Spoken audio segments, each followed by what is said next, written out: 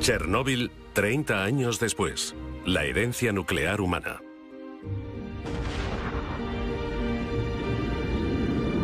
...1945... Las primeras bombas atómicas de la historia cayeron sobre Nagasaki e Hiroshima.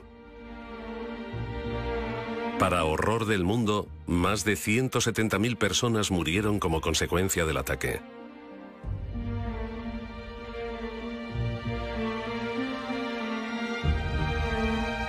Cerca de 57 millones de personas perdieron la vida durante la Segunda Guerra Mundial.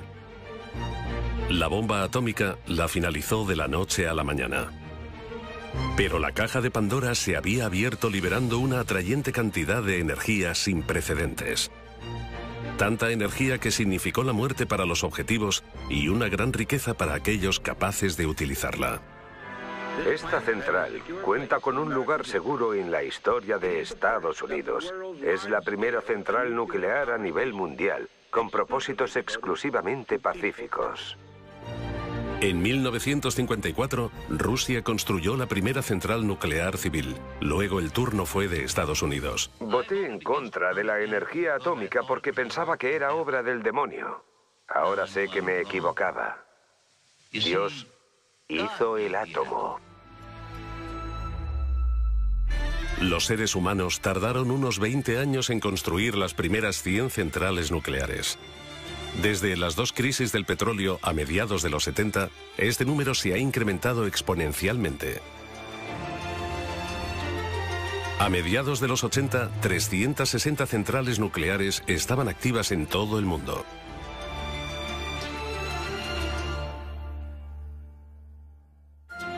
26 de abril de 1986. Un día que debe grabarse en la memoria colectiva de la humanidad.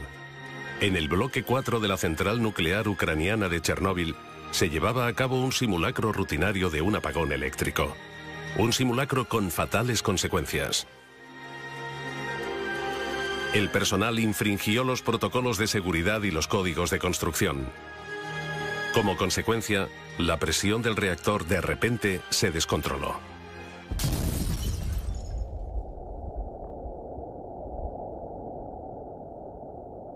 La explosión fue violenta y mandó partículas radioactivas a la atmósfera durante 10 días.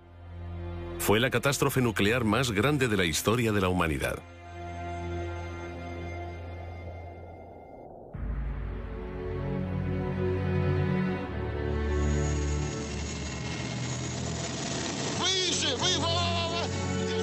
El gobierno soviético intentó ocultar el desastre enviando liquidadores para que asegurasen la zona contaminada.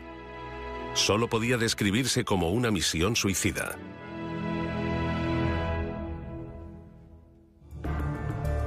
Las emisiones radioactivas acabaron llevándose la vida de muchos de ellos. Hasta el día de hoy, la zona de alrededor del reactor defectuoso sigue siendo una tierra baldía. En 2007, un helicóptero hizo un vuelo de reconocimiento sobre Chernóbil. Los primeros días después del desastre, desde el 26 de abril de 1986, la tarea más importante era prevenir lo antes posible la propagación de partículas radioactivas. La cubierta de protección que se construyó apresuradamente comenzaba a agrietarse. Cuando el helicóptero alcanzó el reactor, los instrumentos de medida de los científicos comenzaron a fallar. Había radioactividad en el aire. Se creía que había 180 toneladas de combustible nuclear radioactivo en el reactor. Enseguida quedó claro que la supuesta cubierta protectora corría peligro. Chernóbil sigue irradiando. A pesar de los accidentes de Chernóbil y Fukushima, las centrales nucleares siguen construyéndose en todo el mundo en gran número. Actualmente, más de 30 países tienen unos 400 reactores nucleares.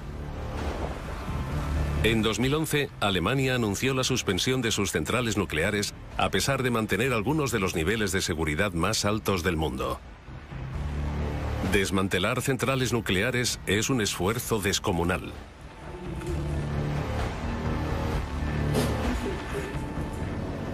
Toda la masa de una central nuclear así es de 1.800.000 toneladas. Y afortunadamente, solo el 35% de esta masa está contaminada o es sospechosa de estar contaminada. Este estilo de central nuclear soviética fue construida durante la época de la Guerra Fría. Muchos detalles técnicos son similares a Chernóbil. Poco después de la reunificación alemana, toda la operación fue cerrada por motivos de seguridad. Durante los últimos 20 años, 700 ingenieros han trabajado desmantelando la central sin un final a la vista. Chernóbil, Ucrania. Tres décadas después del incidente nuclear más grave de la historia. Alrededor de 130.000 kilómetros cuadrados de tierra en Bielorrusia, Ucrania y Rusia se han visto afectados por la contaminación del accidente del reactor de 1986. En aquella época, unos 5 millones de personas vivían en esa zona. Hoy, el radio de la zona restringida es de 30 kilómetros. Se requiere un permiso especial para sobrepasar los puestos de control. En 1986, Vladimir Usatenko fue llamado al lugar del accidente como ayudante. Lo que vivió allí le sigue asustando hoy en día.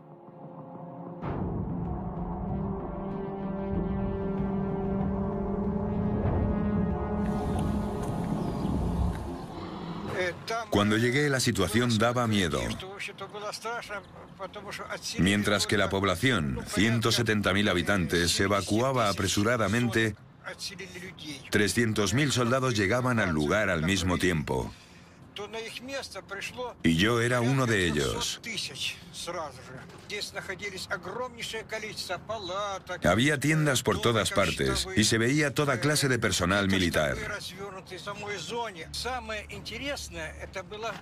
Tenía la impresión de que mis compañeros intentaban ocultar su miedo expresando una euforia exagerada por el trabajo. Pero tuvimos que procesar cosas increíbles que vivimos mientras estuvimos allí. Pero el fatal daño no podía ignorarse. De noche era diferente. Daba mucho miedo porque cuando me despertaba oía constantemente toses intensas en la tienda. Nos picaba la garganta al habérsenos quemado las cuerdas vocales durante el día. En aquellos momentos me sentía tremendamente solo. Los liquidadores descontaminaban la zona del desastre arriesgando sus vidas. Durante los siguientes seis meses se construyó una cubierta alrededor del reactor. La construcción de la primera cubierta protectora fue realizada bajo condiciones extremas y había que hacerla desde tan lejos como fuese posible. En consecuencia, no había forma de verificar la estabilidad y la fiabilidad de las partes individuales porque no había contacto directo con la zona de construcción.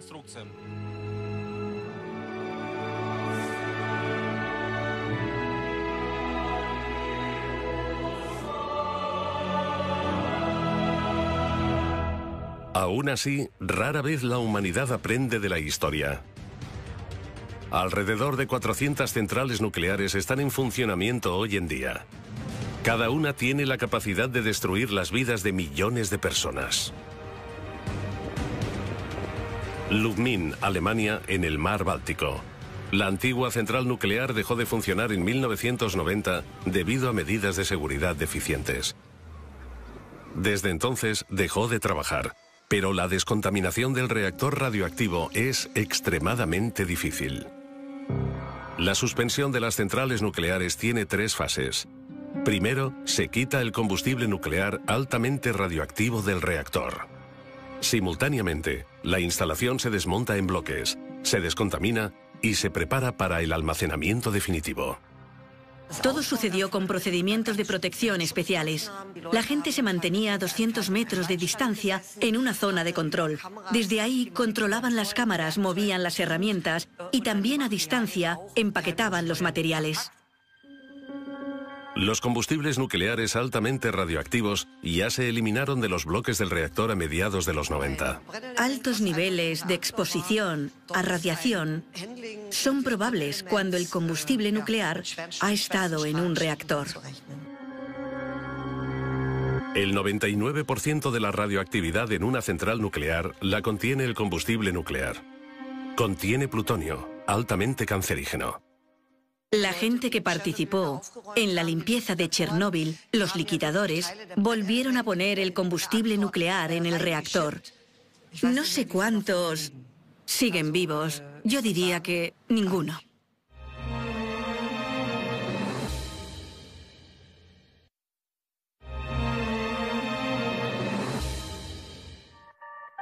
Poco después de la catástrofe, los expertos nucleares soviéticos intentaron descubrir qué cantidad de combustible nuclear altamente radioactivo seguía presente en el reactor.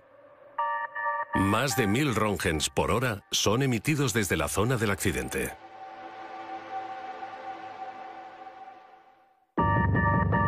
Se inició una expedición para calcular cuánto combustible quedaba en el reactor.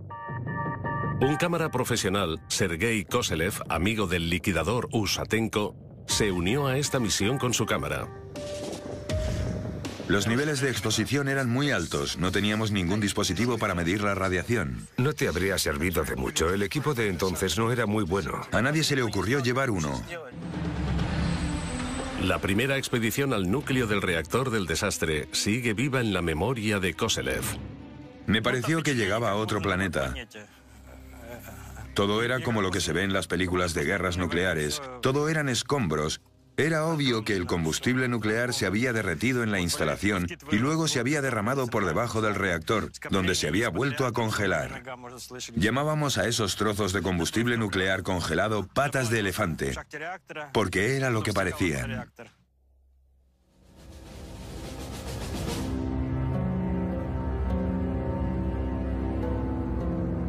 Puede verse combustible nuclear derretido en las grabaciones de Koselev. Pero, ¿son realmente 180 toneladas como indican los informes oficiales? El experto en Chernóbil, Usatenko, tiene sus dudas. Han descubierto que no había casi combustible nuclear en el reactor. Así que el Organismo Internacional de Energía Atómica debe explicar por qué la catástrofe siempre ha sido minimizada. Según la versión oficial, solo se salieron el 4% de los materiales, pero estudios demuestran que la contaminación fue más amplia de lo que pensamos. Así que no pudo ser solo un 4%, creo que fue casi el 96%.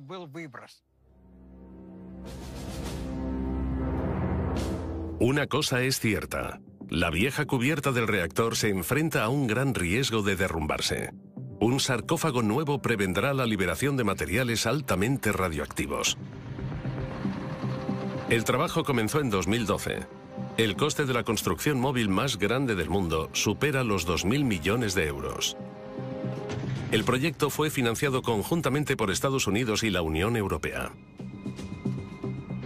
Para llevar a cabo este proyecto, primero tuvimos que quitar 125.000 metros cúbicos de residuos nucleares. Escombros altamente contaminados de la explosión seguían en el suelo. Los altos niveles de radiación pusieron en peligro a los trabajadores e hicieron de este lugar de construcción el más peligroso del mundo. Cinco instrumentos de medición de radiación, Miden los niveles de contaminación del lugar de construcción, 24 horas al día. Intentamos evitar que los trabajadores se expongan a niveles adicionales de radiación. Los cimientos, de 90.000 metros cuadrados, han sido un reto particular para los ingenieros, suponiendo casi un cuarto de los costes. Y el reloj no para. La vieja cubierta se está desintegrando más rápido de lo esperado. El viento y la lluvia lo derriban desde el exterior, mientras que el material radioactivo del núcleo está haciendo la construcción más quebradiza. La estabilidad de la vieja cubierta está en peligro debido a los procesos de disolución. Cae lluvia y nieve, y como resultado la cubierta ya no puede cumplir con su función protectora de forma fiable. Una vez más, las personas arriesgan sus vidas para intentar controlar el reactor de Chernóbil.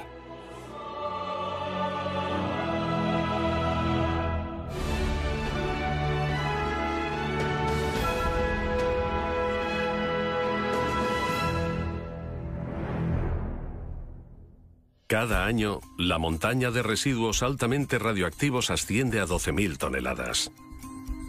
Pero, ¿qué se puede hacer con los residuos radioactivos? El problema de encontrar un almacenamiento definitivo para el material aún no se ha resuelto. La antigua mina de sal en el corazón de Alemania servía como un lugar seguro. Pero 40 años después del último depósito, se ha convertido en un lugar de amenaza nuclear de proporciones increíbles. La mina corre el riesgo de derrumbarse. La roca está presionando la mina sobre el techo y las paredes, así que algunos de los primeros contenedores están comenzando a romperse. Por eso sabemos que es posible que los contenedores estén gravemente dañados. Los pozos y túneles han hecho que la roca sea frágil.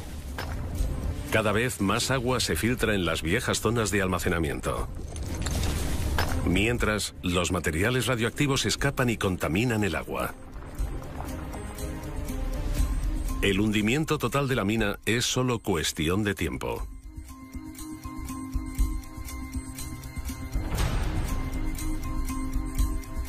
...126.000 barriles de residuos radioactivos deben ser rescatados de los túneles sellados.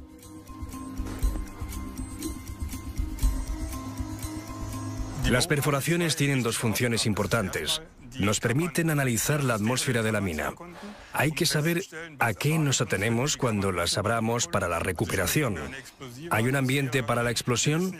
También sabemos que los fluidos contaminados liberan soluciones, lo que significa que los elementos residuales pueden fluir al exterior de la mina. Y así que debemos asumir, y eso hacemos, que los túneles ya no están intactos.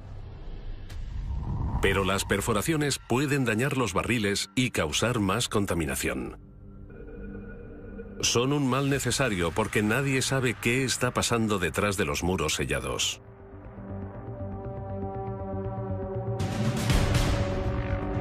Una imagen ayudaría a entender la extensión de los daños. Antes de que comience la recuperación, se mandan cámaras especiales por las nuevas perforaciones. Las grabaciones son para documentar adecuadamente el estado de la roca alrededor de las cavidades. Además, podemos obtener lecturas del radar que describen las propiedades mecánicas de la roca con exactitud. Eso me da la seguridad de que la roca no se caerá por el pozo o que esta zona no se derrumbará. Se cree que hay 28 kilos de plutonio en los viejos pozos de la mina de sal. El estado de muchas de las zonas de almacenamiento es crítico.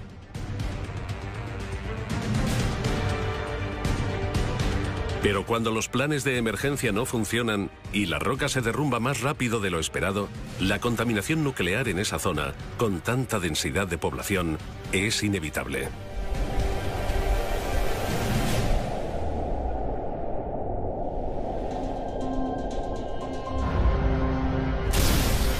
El desastre nuclear de Chernóbil ocurrió en 1986.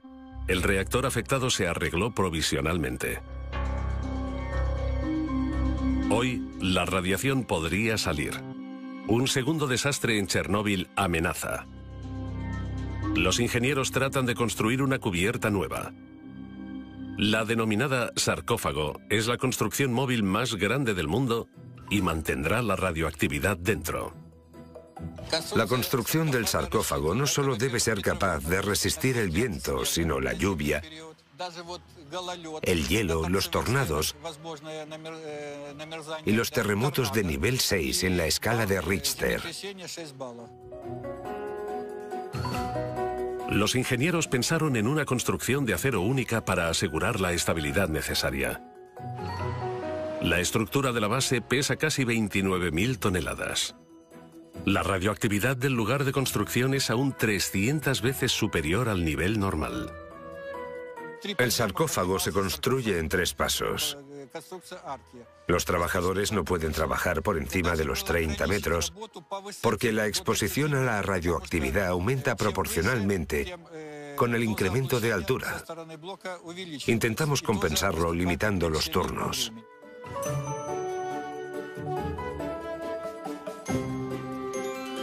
Tras dos años, la colosal construcción de acero por fin se alza del suelo con la ayuda de sistemas hidráulicos. La forma curva del sarcófago es visible por primera vez. Es un gran momento para el ingeniero jefe Víctor Salisetsky y su equipo. El arco consiste en dos partes construidas a una distancia de 12 metros y medio entre ambas. Una característica especial del sarcófago es que las piezas de apoyo están hechas de tubos sólidos con un diámetro de 800 milímetros y un grosor de 50 milímetros. Una construcción única. El sarcófago se construye para que aguante 100 años. Nadie sabe qué ocurrirá después. El mayor problema es que las estructuras metálicas tendrán que pintarse en intervalos regulares para que no se oxiden, pero la radiación lo hace imposible. Sacar el combustible nuclear radioactivo del núcleo del reactor parece imposible. Queda esperar si el proyecto aguantará la prueba del tiempo.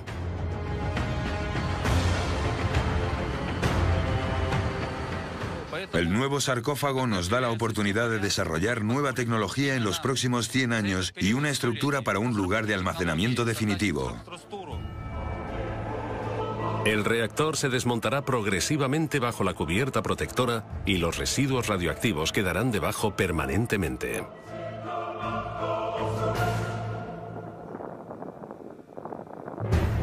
No hay forma de saber si el proyecto de 2.000 millones de euros tendrá éxito.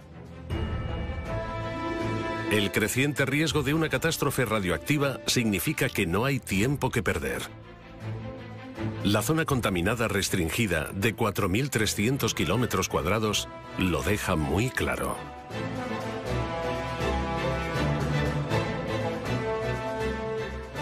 Los niveles de radiación actuales que emite el plutonio y los elementos transuránicos que se convierten en plutonio con el tiempo convierten esta zona en inhabitable durante al menos los próximos mil años.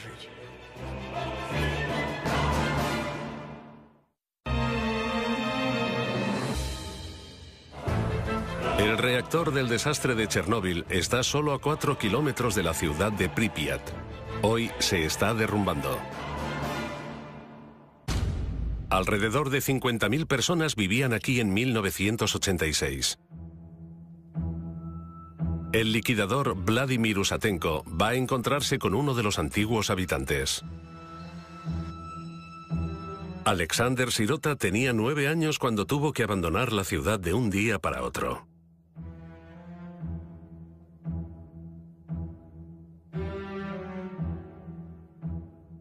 Fue sobre las 8 de la tarde del 26 de abril. A todos nos visitaron representantes del municipio y organizaciones de alquiler de pisos. Nos dijeron que había planeada una evacuación de emergencia y que teníamos que prepararnos. En aquel momento, el incidente radioactivo llevaba 18 horas. La dirección de la central nuclear dejó incluso a Moscú en la oscuridad hasta la noche. Mientras la nube radioactiva avanzaba, nadie en Pripyat imaginaba hasta dónde llegaría el gas. Para tener miedo, tienes que entender qué está pasando. Yo entonces no sabía que nunca regresaríamos y que aquel momento sería el final de mi infancia. La catástrofe del reactor marcó el final de los días felices en Pripyat enviaron 1.200 autobuses para la evacuación.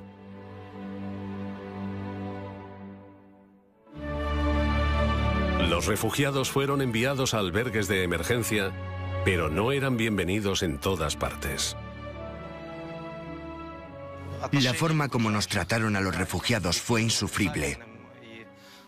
Nos trataron como a marginados. Tenían miedo y nos rechazaban. A los habitantes no se les permitió volver a sus hogares.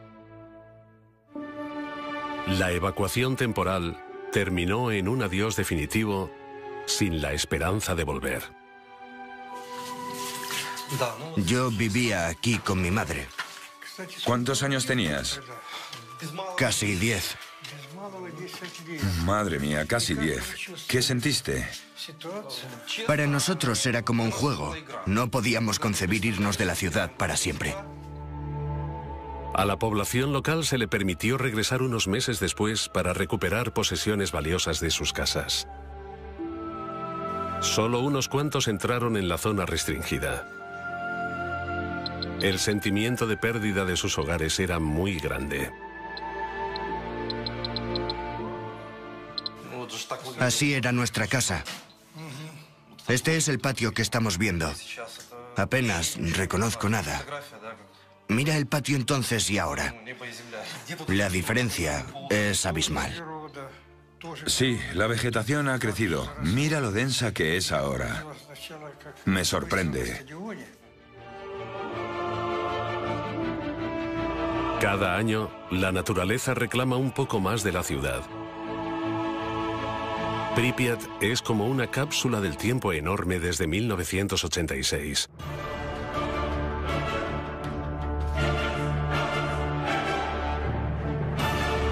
Los niños no volverán a aprender en este colegio.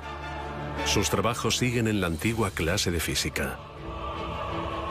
Tuvieron que dejarlo todo atrás. Han pasado décadas desde entonces.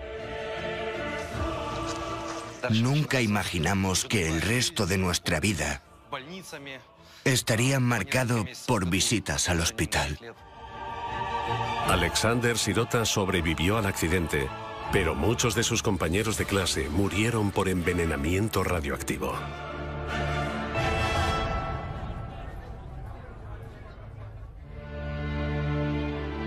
Tan solo queda una tierra baldía desolada.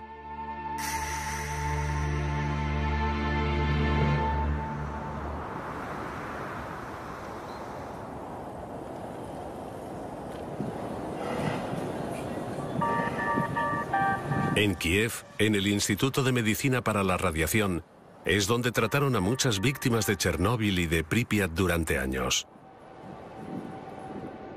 Las imágenes de los que sufrían los efectos de la radiación se grabaron en la memoria colectiva ucraniana. No hay células que protejan el cuerpo de una persona contra las infecciones si absorben una dosis mayor a 100 Roentgen. Es prácticamente letal. El nivel de exposición determina el alcance de los síntomas. Puede resultar en una muerte en minutos o en efectos secundarios menores a largo plazo. Miles de personas estuvieron expuestas a la radiación de Chernóbil.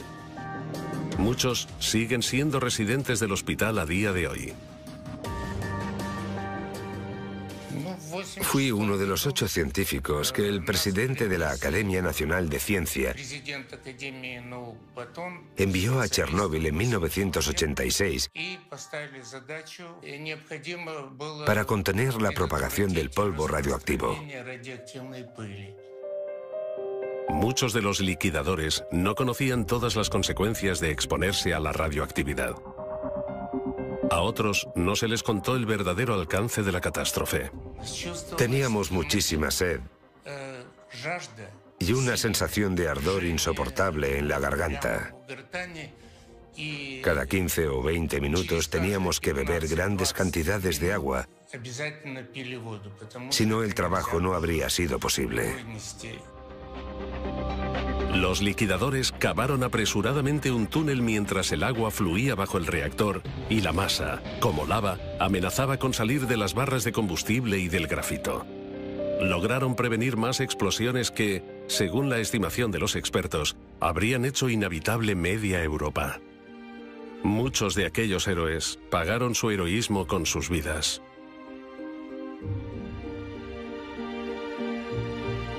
Y los que sobrevivieron le pasaron los efectos de la radiación a sus hijos.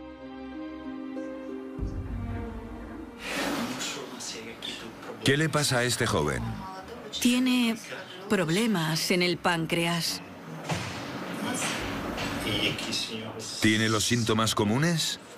Sí, las muestras del hígado también tienen niveles elevados. El profesor Chumak sospecha que la causa es un cambio en los genes del paciente. Una sola base de ácido nucleico modificado puede cambiar los sistemas enzimáticos fermentados del cuerpo de tal forma que se convierta en menos resistente a diferentes influencias dañinas que provienen del medio ambiente. Los médicos atribuyen los síntomas directamente a la exposición a la radiación de sus padres en Chernóbil. Pero los efectos a largo plazo de la radioactividad son un problema global.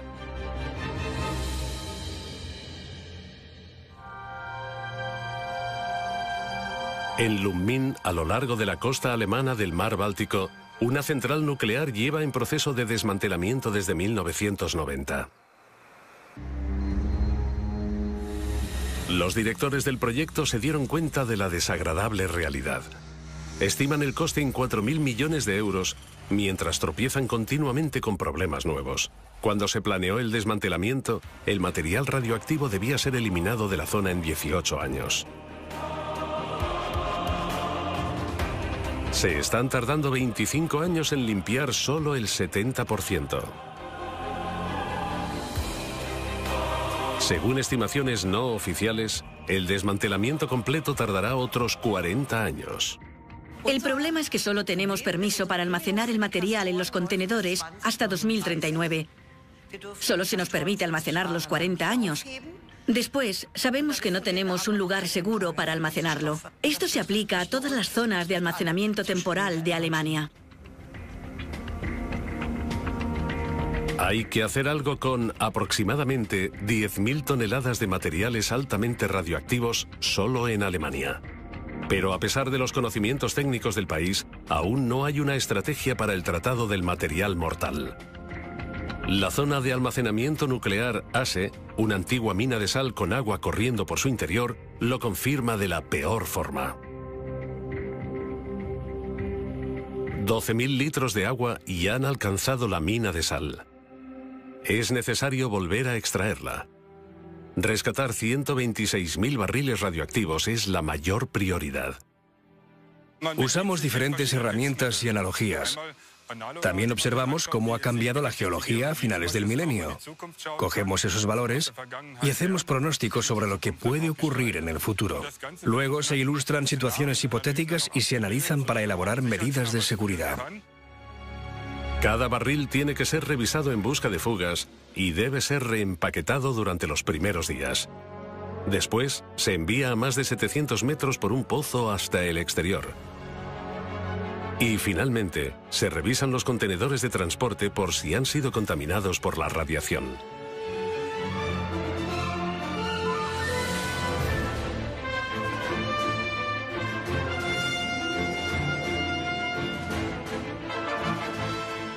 Es un proyecto muy grande.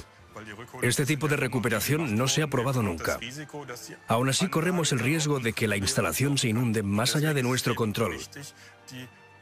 Así que es importante tomar medidas de emergencia para minimizar los daños con respecto al medio ambiente y al público. Todo está todavía en el aire. Nadie sabe si la recuperación será posible. O si los peligrosos materiales se convertirán en un peligro incontrolado permanentemente. Para almacenar los barriles de forma segura, una vieja mina de hierro se está convirtiendo en una nueva instalación de almacenamiento definitivo. Las tuneladoras esculpen 850 metros de espacio de almacenamiento en el interior de la montaña. El pozo de Conrad es el único punto de almacenamiento definitivo que cumple los estrictos niveles de seguridad en Alemania. Geológicamente hablando, la diferencia es que el pozo de Conrad es una antigua mina de hierro donde solo se sacó hierro durante unos años, mientras que en Ase la sal se ha extraído durante décadas. La instalación ofrece 300.000 metros cúbicos de espacio de almacenamiento para residuos nucleares radioactivos medios. Para 2022 se espera que haya unos 600.000 metros cúbicos de residuos nucleares. Aprovechar viejas minas como instalaciones de almacenamiento no es nada nuevo. La idea ha fracasado una y otra vez. Se necesita una técnica nueva. Se necesitan incisiones rápidas y breves en la roca para impedir concentración a largo plazo en los pozos. El problema es que el concepto no es muy convincente. No hay punto de almacenamiento alternativo. Los residuos nucleares han sido almacenados temporalmente durante los últimos 40 años. Ese es un problema que tienen en común muchos países nucleares.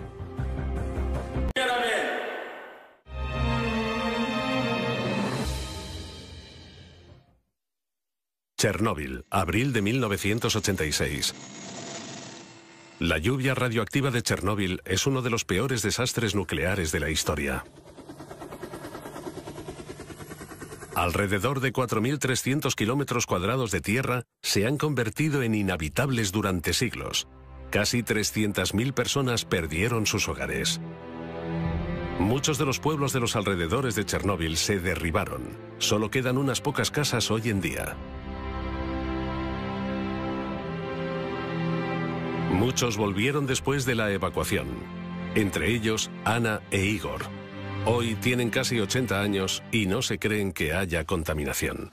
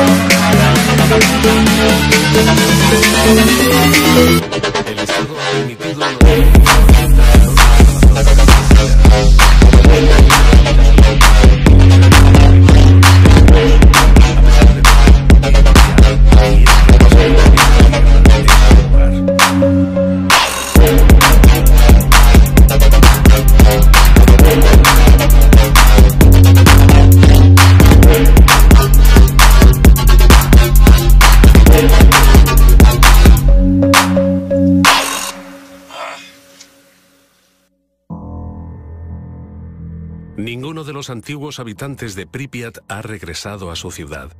Materiales de larga duración como el plutonio hacen de la ciudad antes próspera un lugar inhabitable.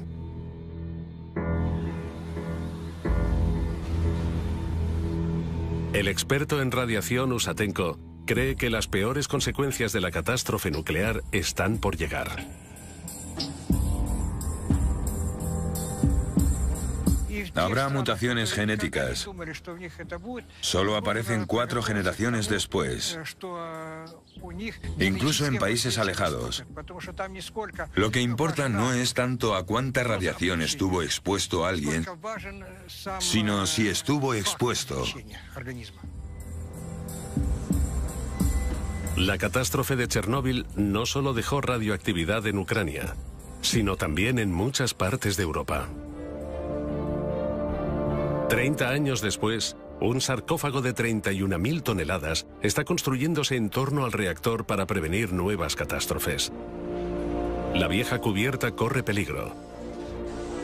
El sarcófago es más grande que Notre Dame y podría servir de cubierta a la Estatua de la Libertad.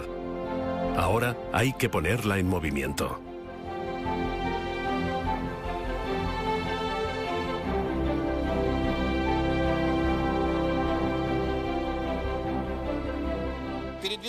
El movimiento tiene lugar con el uso de los trenes de sujeción que hay a cada lado del arco y que sujetan el sarcófago con los raíles.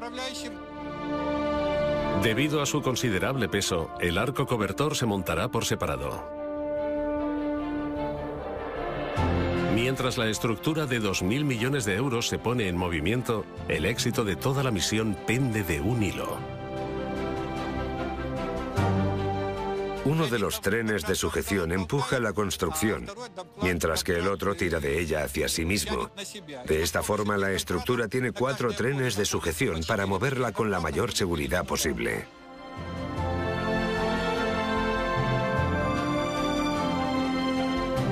El primer empujón sale bien. Ahora hay que colocar la segunda parte del arco. Al mismo tiempo, el muro exterior de doble capa se completa lo más rápidamente posible. Finalmente, es necesario conectar ambos arcos. Solo entonces pueden ser colocados sobre el reactor del desastre.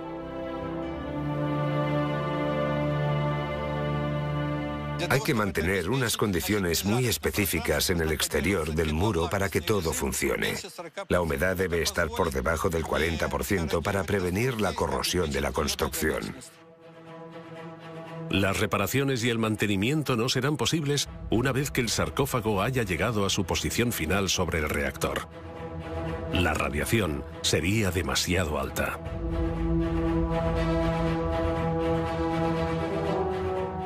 El plan es empujar toda la construcción sobre el bloque 4 del reactor.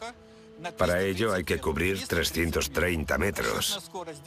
En el primer empujón de 125 metros, alcanzamos una velocidad de 10 kilómetros por hora.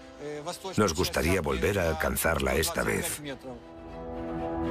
En cuanto el sarcófago se coloque sobre el reactor, cabe la esperanza de que la catástrofe de Chernóbil por fin esté bajo control al menos durante los próximos años. Han pasado 30 años desde el desastre. Chernóbil hizo visible el lado mortal de la energía nuclear. Más alto, más. Madre de Dios. Miles de personas pagaron con su vida una energía barata. Muchos serán recordados como héroes. Intentamos no acordarnos de lo enfermos que estamos y de que pronto moriremos. Si te permites ser pesimista, ocurrirá lo peor. Es mejor decirte a ti mismo que los achaques se deben a la edad. Existen alrededor de 400 centrales nucleares en este momento. Cada una tiene la capacidad de liberar una catástrofe apocalíptica. Tal vez sea el momento de pararnos a pensar.